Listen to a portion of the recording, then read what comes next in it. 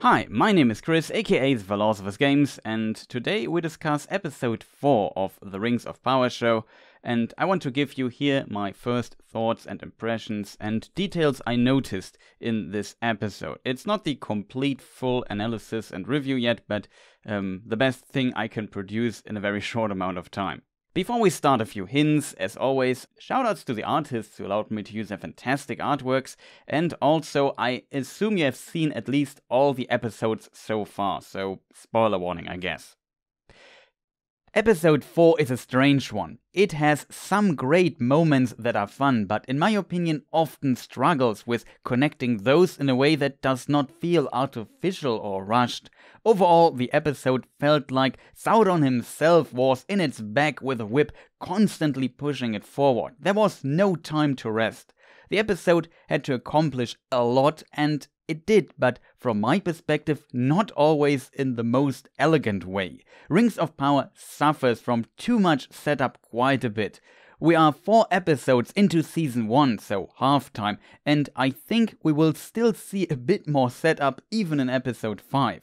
The problem with these story setups is that here it often happens that the plot in the script pushes the characters forward, but it would be better if the characters, through their actions, dialogues, and interactions, would develop the plot further instead. This way, it would feel more natural. If you do it the other way around, it feels forced and constructed, like an invisible power from outside makes characters do things and not the characters themselves. Of course, to introduce a character at the beginning, the script might need to push the character a bit, but in Rings of Power, this never ends so far.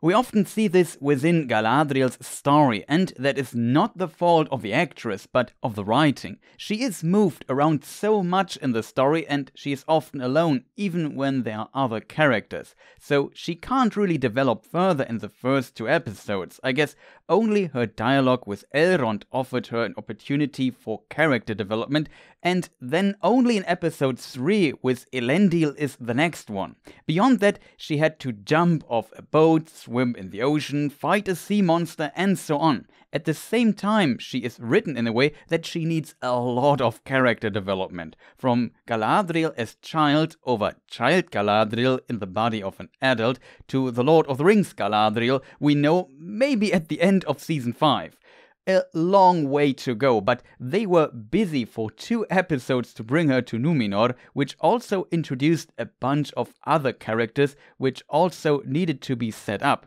Now we are four episodes in, and the writers needed to slowly initiate the meeting of her and Arondir's story, plus her needed character development all that in just two episodes, while other plot lines also needed work. As you can imagine, this can only lead into an episode that has to make haste, and that is exactly what we got. And though I liked the first two episodes, I think her setup did Galadriel a huge disservice there. If we compare that to Elrond, he is far more time efficient. He has time to have a long conversation with Galadriel, go to Eregion, go to Khazad-dûm, learn why Durin is angry at him, mend his friendship with the dwarf prince, meet his wife and children, convince the dwarves of helping Eregion, plus adding some nice lore details that help us understanding Durin, the dwarves and Elrond better, in the same time, Galadriel is on her little boat tour. By episode 4, he even added more lore details and found out about their mithril, which might lead to further conflict, and he does not even appear in episode 3. Here we also heavily notice that Elrond after a very brief setup, develops his story further by his actions and dialogue with others. It helps that his setup is less convoluted than Galadriel's as well, and it seems differently written. I would even say it is written better. And the weirdest thing, while he does all those things, the pacing of his storyline feels far less rushed. Galadriel went from insulting the queen to prison cell to refining her missing diplomatic skills through Halbrand to freeing herself and breaking into the tower of the king in exile to convincing Miriel to help her in just one episode. No wonder it feels rushed and hard to believe as a result. If you go back to episode 1, we see Galadriel climbing up this ice wall and searching for Sauron. These scenes eat a lot of time and I like them, but in episode 4, she just teleports or fast travels up that tower because there is no time for climbing or any details of her way. Don't get me wrong, it's less about seeing her actually climb and more about the difference in taking time to show what the character is doing. It feels super rushed as a result, though the important story scenes work well in my opinion, and I really like the actors, but the writing is really giving them a hard time here to unfold their characters. On top of that, Galadriel antagonizes all characters instantly want to help her. The only character she does see as a friend is the one who does not want to help her and who is a scoundrel without a moral compass and whose ancestors were a blood oath to Morgoth, the first Dark Lord. It's kind of funny if you look at it that way. Galadriel is incredibly bad at diplomacy, reading people and situations. Imagine Elrond would be in Numenor. I though think it's still an interesting setup for her because Halbrand is good at diplomacy and understanding other people, but his chaotic and self-focused nature brings him into trouble, while Galadriel is less chaotic and wants to oppose evil, but she is not able to move forward without fighting and being trapped in her obsession to find Sauron. This is an interesting combination, but of course so far away from the Galadriel we know that she feels over the top in that regard and for some people even annoying. Luckily, this might now change with the character development she made in episode 4, and so I look forward to see what she does next with these new skills she just learned. So far I see the potential, but the way to this point was just a complete mess and felt incredibly artificial at times. The Harfoot and Arondir storylines were also not as long stuck in setup as well, so they also worked better. However, this broke a bit again for Arondir when he awoke in this prison camp of the orcs. Here, the script dictated that his two elven friends were captured as well off screen. Of course, it's hinted at that they searched for him, and one could assume it is how they got captured, but it still felt forced, especially in the context of both of them dying. Now in episode 4, he meets Adar and he lets him go to deliver a message which seems strange. He has other prisoners which he could have sent less capable in combat than Arondir. It feels again forced by the script, but in my opinion, these forced elements were still less present so far. Theo, as a little troublemaker going to the village to search for food, made sense from his character's perspective, but then his escape felt forced again. Like when he walked around that last corner to escape, we all knew he would be grabbed by an orc, and when the orc wanted to slice his arm off, we know Arondir would save him, which might later improve his relationship to the elf. Time is again a huge problem. When they leave the forest, it's conveniently sunrise, and also the orcs miss every shot, even when their target is not even moving anymore. Felt again very artificial, but as said, they needed to somehow free Arondir and make Theo escape with a sword. How Bronwyn got there, met them in the forest, and why she went there alone unarmed will remain a mystery as well.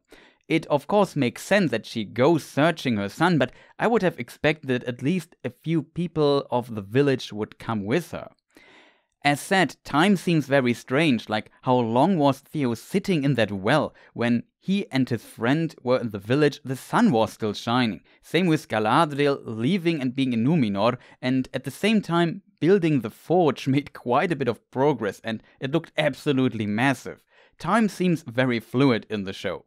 Of course, lore wise, there are some stretches and contradictions as well, but often I felt these were not the main problems of the show so far. Like Palantir could see distant places or send thoughts to other Palantiri. It would also record what it saw and save it so that you could look with it into the past or past recordings, if you want to call it like that, in this context. But you could not look into the future with it. Still, visions of the future or a possible outcome of it existed in Tolkien's world among men and elves, but those did not require a Palantir and were often sent by the Valar, the so to say high angels in Tolkien's world that form a god pantheon. I found the idea that the other seeing stones were hidden in Numenor interesting. They were in the possession of the faithful, for example, Elendil's father, and when Numenor became more and more hostile towards the elves, those might have hidden those stones. There should be a total of seven in Numenor. Also, is this Narsil there in the background?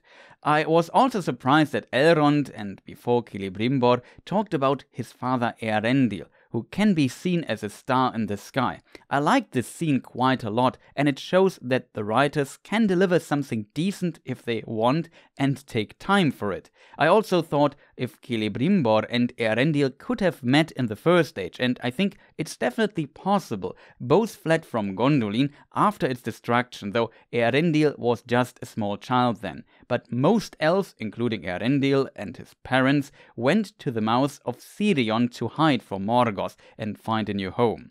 It would make sense that Celebrimbor also went there and so saw a young Eärendil growing up and later building his legendary ship Vingilote there.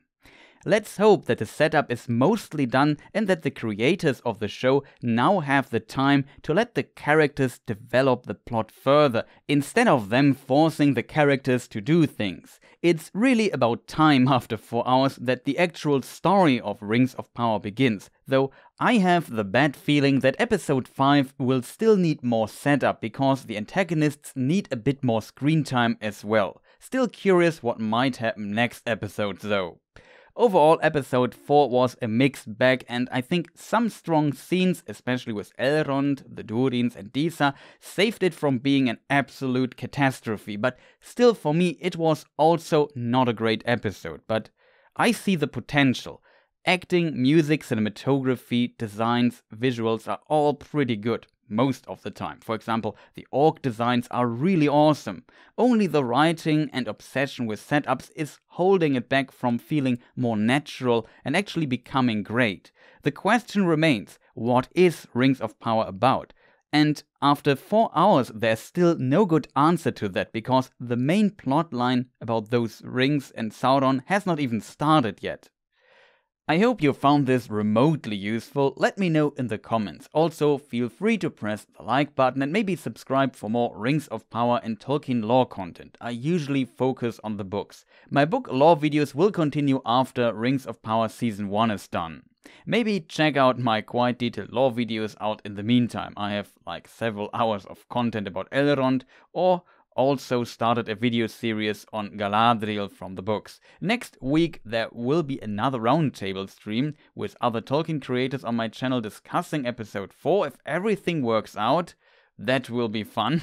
For my German speaking viewers, I'm also invited by the German Tolkien Society to discuss episodes 3 and 4 on Tuesday. Besides that, there might be an episode 4 watch party, this time with the correct time code, so tons of content to come. Again, thank you for watching and goodbye.